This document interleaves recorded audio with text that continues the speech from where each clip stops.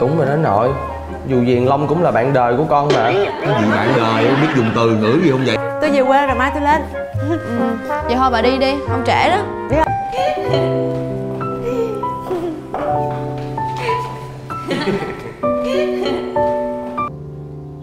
Long à mình à mình à. Hai bạn định ôm nhau á hả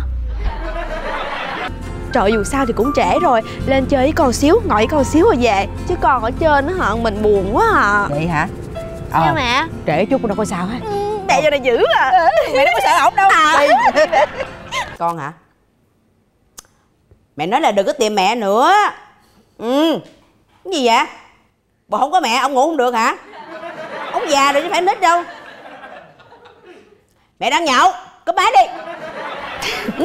cô ở chung phòng với con kim chi á chắc cô biết tính nết nó phải không? Dạ, ờ, nhưng mà sao vậy bác? tôi nói cô nghe chuyện này nghe. Dạ. Con chi á nó muốn quay trở lại thằng phúc. Anh à Em muốn nói là Tụi mình quay lại với nhau nha. Tôi đã nói lần cuối đó nha Là con đường của tôi với bà Là hai con đường hoàn toàn khác nhau. Biết rồi. Thôi nè Hả? Khoan đã nâng ly giữa ước mơ sắp thành sự thật. Đúng rồi. Một hai ba.